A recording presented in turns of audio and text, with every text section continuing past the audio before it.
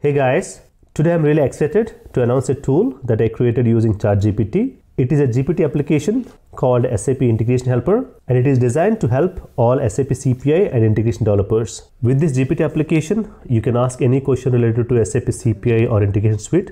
It can also help you with Groovy scripting, coding, uh, interview questions, and real-time scenarios. You can also inquire about integration flows, implementation methods, and troubleshooting.